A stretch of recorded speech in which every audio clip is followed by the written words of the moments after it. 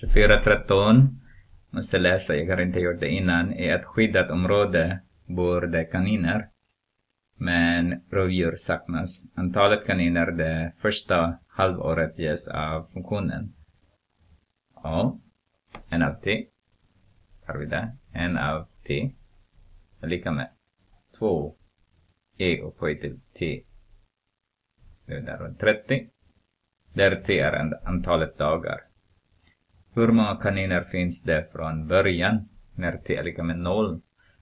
Och det förstår ni att när, när t är lika med 0 så den här hela blir det 1. Eh, så det, det från början, det blir det 2. Så för att svara på den frågan så två stycken. B. Vad säger han? Hur många finns det efter 60 dagar? Okej. Okay. Så vi en av 60 är lika med 2 e upphöjt till 60 trettiondedelar eller 2 e upphöjt till 2. Vad får vi då? Får vi 2 Shift ln 2 så får vi 14,7 cirka 15. Jag ser er en facit. Som sagt, jag har inte läst, läst av 15 stycken enligt ert facit. Så för att svara på den frågan i B, 15 stycken.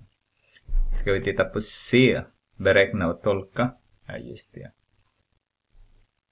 En prim t ska vi ha först. Så har vi 2 multiplicerar med en trettiondedelar. E upphöjt till t trettiondedelar. Så. Eller om vi förenklar så har vi en femtondedelar. E upphöjt till t trettiondedelar. Okej. Okay. Och det skulle vi räkna 1 prim, en prim 30. Det vill säga en femte, efter 30 dagar då. E upphöjt till 1 ju är det. Som vi 30 trettiondedelar blir 1. Så har vi kan vi skriva på det här sättet också. E dividerat med 15. Så kan vi väl dividera den. E shift ln 1 kan vi skriva dividera med 15. Så får vi 18 eh, kaniner. Vad är T? Antalet dagar per dag.